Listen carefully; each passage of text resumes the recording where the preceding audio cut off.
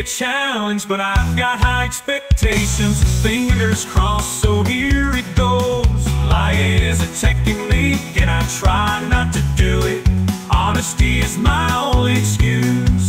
But, but you know this might